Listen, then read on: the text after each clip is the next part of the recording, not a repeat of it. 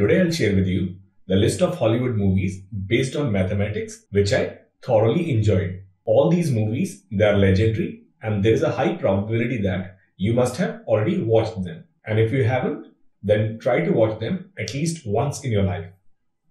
Now, top three on the list are biopic of three extraordinary mathematicians. The first movie is A Beautiful Mind. This movie is based on the life, work, and illness of a brilliant mathematician, John Nash, who received Nobel Prize in Economics for his contribution to the game theory.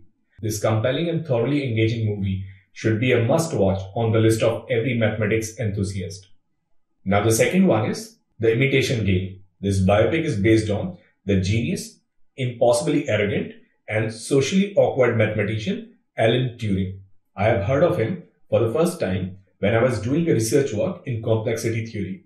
This movie, it is truly a tribute to the extraordinary achievements and brilliance of an exceptional mathematician. Third on the list is The Man Who Knew Infinity. It is based on the life and work of rarest of the rare genius and one of the most gifted mathematician, Srinivasa Ramanujan. This deeply intelligent movie has been praised by mathematicians for its accurate mathematics and authentic portrayal of mathematicians. Next two movies on the list are applied mathematics movies inspired by real life events. The first one is 21. It is a fact based story about six MIT students who, using probability and statistics, became experts in card counting and took Vegas casinos for millions and winning. And the second movie is Moneyball.